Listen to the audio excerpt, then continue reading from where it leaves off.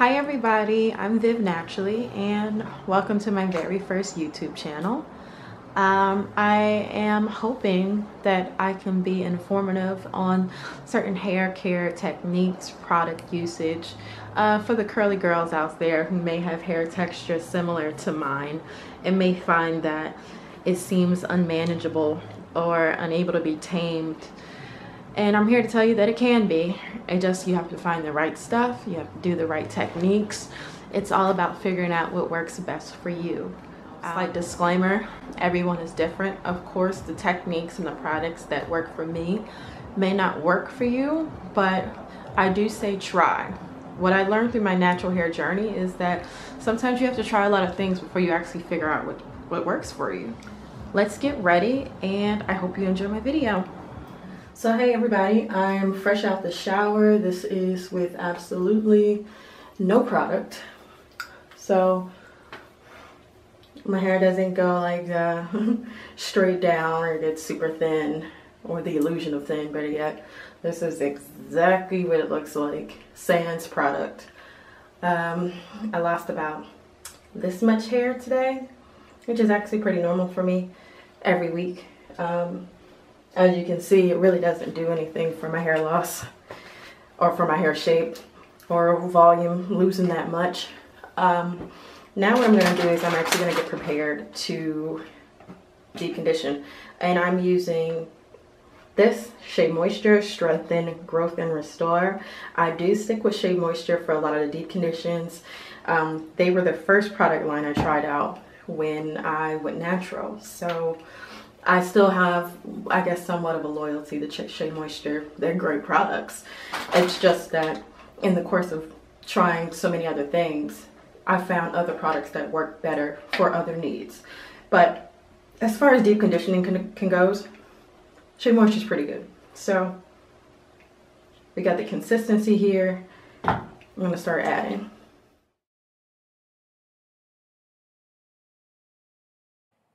At this point, I'm just adding deep conditioner to my hair. I'm trying to drench my hair as much as possible. I'm going to end up putting my hair in two flat twists so actually I can actually sit under the steamer and make sure that I get the full benefits of the steam. Um, I'm going to split my hair on the side where I normally part my hair so that once the deep conditioning is done, I can get back in the shower and take out my hair or take out the deep conditioner from my hair without actually uh, causing any more potential frizz because it is very easy for me to comb out my curls on accident. So that's where we're at, the, at at this point. At this point, you can see my two flat twists. I am clipping them to the top of my head just so I can get the actual benefits of the steam. Um, if I don't clip it to my head, then it's really just my scalp that I get the benefits of the steam and my ends and the bottom part of my hair will kind of just hang past my shoulders and I want to make sure I get the full benefits of the steam process. Okay, so I am fresh out the shower again. Uh, condition is done. Um, I usually do this next process in the shower, so I am going to have to continuously wet my hair to get it the way I need to get it. Um, so to start the process, I do use DevaCurl One Condition.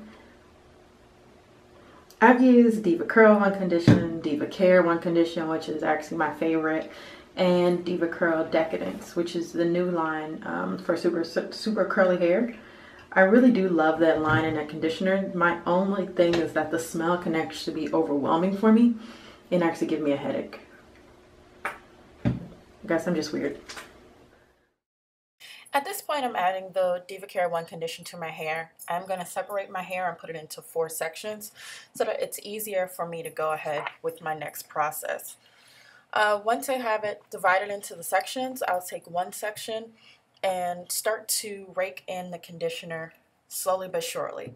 I am also using the DevaCare Styling Cream at this point. Uh, I don't really use gel. I've used it before, but I noticed that it left my hair very, very um, hard. So as you can see, I'm finger curling some of my hair, but I'm definitely using the DevaCurl Styling Cream. It's very soft, um, but it still leaves my hair very much defined. At this point, I've gotten to the third section of my hair.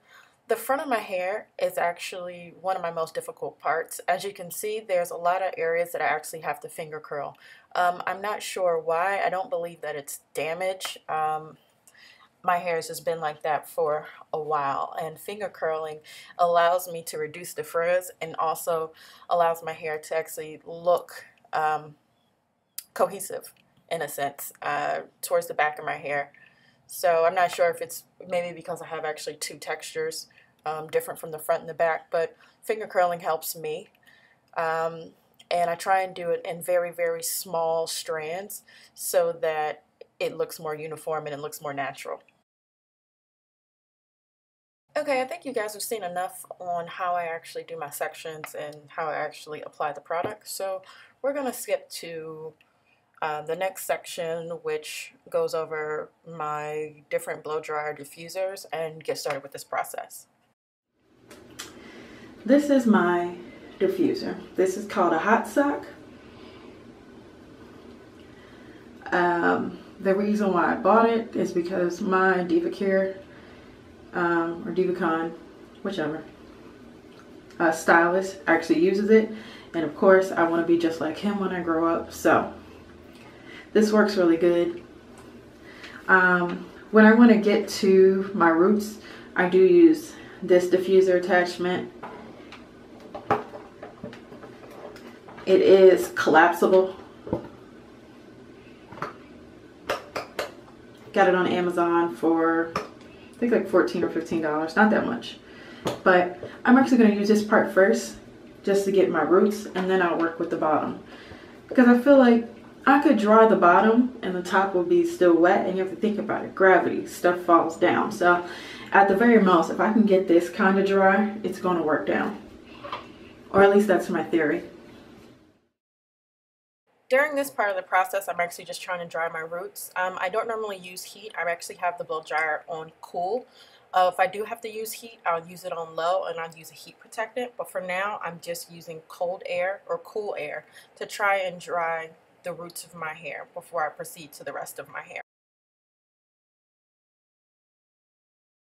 At this point in the video, I'm actually looking at my hair as it dries and seeing that there are certain parts that are still frizzy. So I'm going back and I am finger curling those particular spots so that I can re-dry them and my hair can actually curl the way it needs to. As you can see now, my hair is a little fuller. It's a little bit more dry, but it's nowhere as dry as it needs to be. So this process continues. At this point, my hair is, I want to say like three-fourths dry. I'm shaking my hair because I want my curls to actually fall correctly. Um, Time-wise, I think with the blow dryer, this is probably a little bit over an hour, maybe an hour and 15. Uh, still got a little ways to go, but there is a lot of progress, so that's always good. Okay, so I'm pretty much done. This is me at 95% dry. Generally, it's not going to get any more drier than this. Um, I love the way my curls are forming, how they're falling. I will stand by the fact that I hate day one hair, but my hair is looking a lot better, so maybe I'll reconsider that. Um, what I'm going to do next is I'm going to add some Mielle Organics Mint Almond Oil, and I'm just going to add it to my tips, just scrunching up. I don't want to chance putting the oil on my whole head and uh, have it weighed down, even though it is a very light oil, but I do want to make sure that I seal in the moisture. So this is my last process. Alright, so at this point it's time for me to put my hair into my pineapple. I have my satin scrunchie and I'm going to add a little oil to my hands so that I reduce the friction as I put my hair into my pineapple.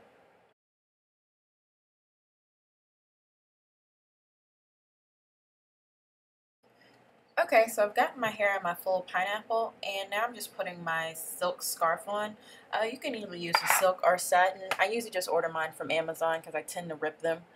Um, I also sleep with a satin pillowcase. I do that because I sleep a little wild and sometimes I want to make sure that my edges are covered. So that way I feel like I'm extra protected and I can make it through the next day without really worrying about my edges drying out or, you know, getting stuck on the cotton pillowcase or any of that other stuff.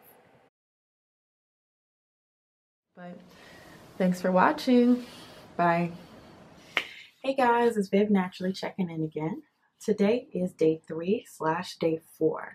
So I want to give you guys a little preview of how my hair looks during the middle of the week.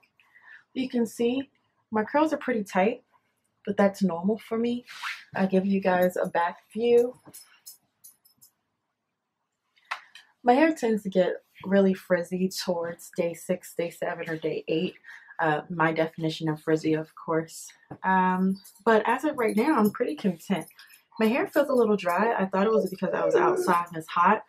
But since I've been in the house, I do notice that it is still a little dry. So what I'm thinking I'm going to do is just make a little water and oil mixture with avocado oil and just spray it at my roots just to give it a little moisture because water is the best moisturizer. And avocado for me, avocado oil helps my hair get really, really shiny. And then of course it seals in the moisture, so that's pretty good. So that's it for right now. We'll check in again on day seven or day eight. Hi. Hi everybody, this is Viv Naturally checking in again for the last and final time. Today is day seven.